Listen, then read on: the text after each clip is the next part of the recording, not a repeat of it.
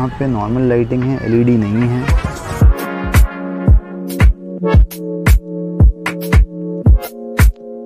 अगर अपन boot space की बात करें तो ये यहीं से ignition this is the all new Suzuki Access 125 2021 ये इसकी साइड प्रोफाइलिंग है, जो आप देख सकते हैं। और आगे से अगर हम दिखाएँ आपको तो एलईडी हेडलैम्प्स हैं अलॉन्ग विद दैट साइड में भी एलईडी डीआरएल दी है, जो हम आपको ऑन करके दिखाएँगे।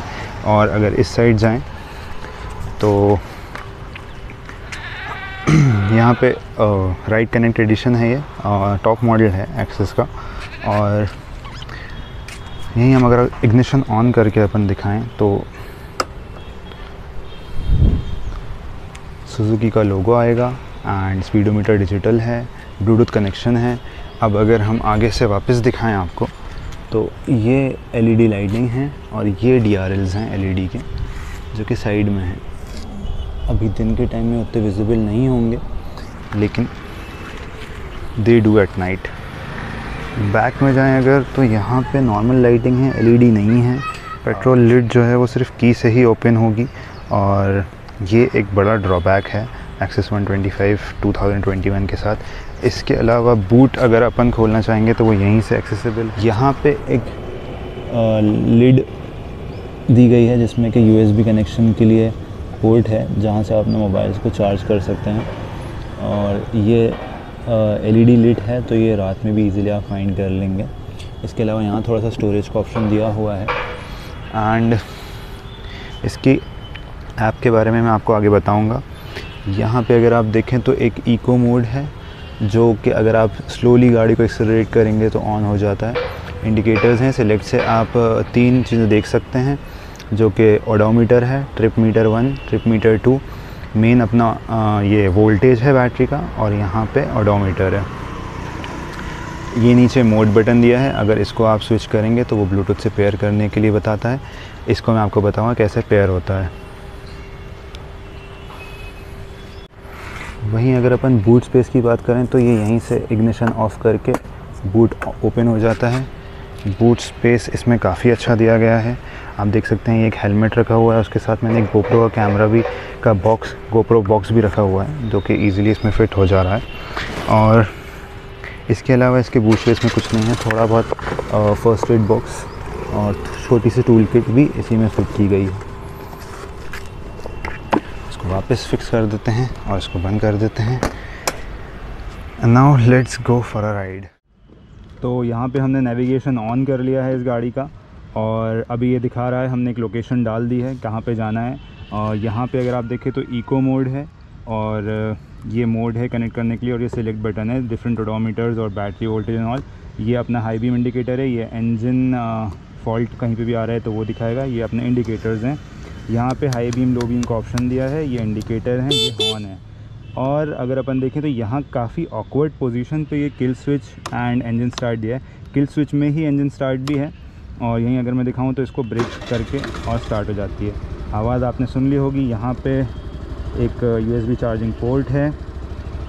ये डिस्क ब्रेक वाली मॉडल है। तो इसमें मैं आपको हार्ड ब्रेकिंग करके भी दिखाऊँगा। ये फ्यूल इंडिकेटर है, ये अपना स्पीडोमीटर है। तो लेट्स गो एंड क्या राइड क्वालिटी है एंड ऑल मैं आपको बताता हूँ। तो इस तरह से स्टार्ट लेते हैं। और थोड़ा थोड़ा ये अपना दिखाता रहेगा बीच बीच में इकोनॉमी मोड भी आता रहेगा, वो बताता रहेगा उसके बारे में। और आप देख सकते हैं, काफ़ी इजीली मैं अभी इसको एक्सेलरेट कर रहा हूँ, कोई हार्ड एक्सेलरेशन नहीं है तो इकोनॉमी मोड स्टार्ट हो गया है। और वहीं अगर आप देखें कि अभी भी इकोनॉमी मोड है, लेकिन अगर मैं इसको रैपिडली एक्सेलरेट करता हूँ तो इकोनॉमी मोड वहाँ से गायब हो जाता है। इसका मतलब आप अच्छे से गाड़ी नहीं चला रहे हैं, आपको परफेक्ट एवरेज नहीं मिलेगा माइलेज अच्छा नहीं मिलेगा। इसके माइलेज के बारे में भी हम आपको बताएँगे। और अभी ये नेविगेशन दिखा रहा है कि कहाँ से, यहाँ से आपको राइट लेना है, कहाँ से वापस मोड़ना है गाड़ी को। एंड मोबाइल में रेगुलरली वो बोल भी रहा है उसको। तो यह इस तरह से हम लोग जा रहे हैं। इसको मैं अगर आपको चाहूँ तो हार्ड ब्रेकिंग करके भी दिखाता हूँ। किस तरह की हार्ड ब्रेकिंग होगी इसमें। और अभी हम लोग हैं थर्टी एट फोर्टी के करीब। और यहाँ से हम आपको हार्ड ब्रेकिंग करके दिखाएँगे। ब्रेकिंग काफ़ी अच्छी है इस गाड़ी में। ये हार्ड ब्रेकिंग हमने करी इस तरह से। और ब्रेकिंग काफ़ी अच्छी है इस गाड़ी में।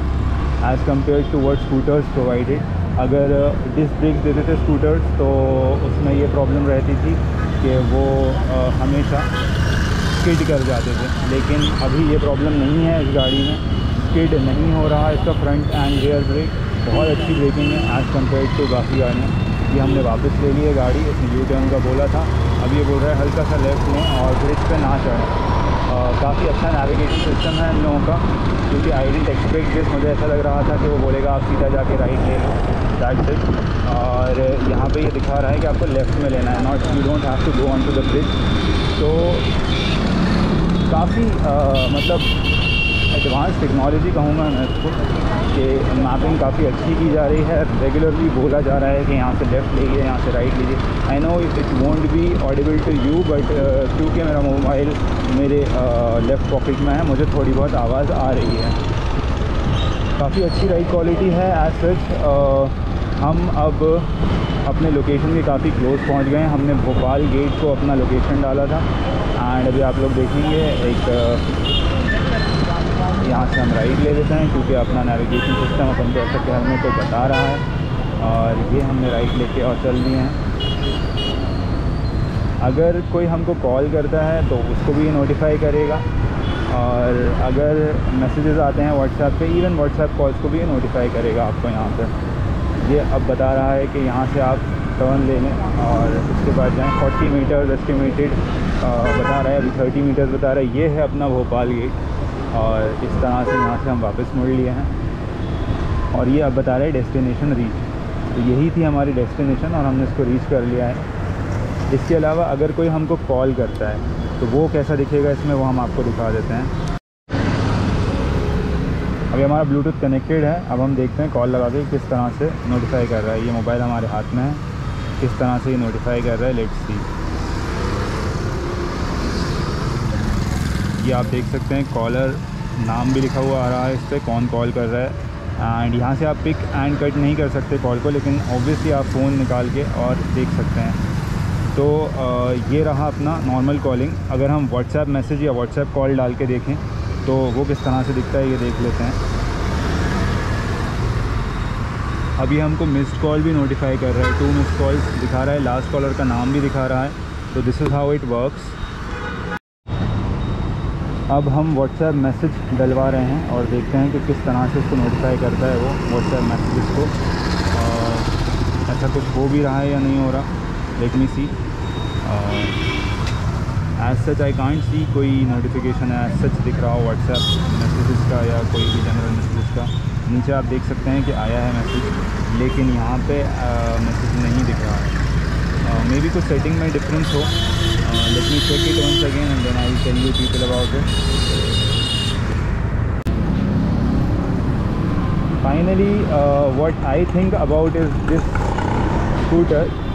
काफ़ी अच्छी स्कूटर है फीचर लोडेड है and on road price Bhopal में one lakh three thousand rupees है इसकी तो if you are going for one lakh I think के this is not the best option you are having अगर आप एक लाख रुपए इन्वेस्ट कर ही रहे हैं और जिस तरह से आजकल पेट्रोल की प्राइजेस बढ़ी रही हैं I think you should go with an electric bike but yes this power and everything that you are getting for in this segment जो कि पेट्रोल से अगर कंपेयर करें तो this a very good thing हाँ एक्टिवा सिक्स जी के अगर compare करेंगे तो वो थोड़ी और ज़्यादा रिफाइंड है। बट येस उसमें इतने फीचर्स नहीं हैं। फीचर्स के पीछे अगर आप जाना पसंद करते हैं and you are a feature free so you can go with this one else I think Activa 6G was better than this क्योंकि at the end of the day it's just about engine refinement and that's it and इसके अलावा अगर कोई चीज़ आप देखें तो that will be the mileage दोनों चीज़ों में Activa 6G excels बट ये 125 सीसी स्कूटर है और this is a different segment तो let's not compare it with that लेकिन this is a good thing but I suggest कि आप लोग अभी भी आते हुए सिक्स जी के साथ ही जाएँ। तो this is my final verdict about this one thank you keep watching and do subscribe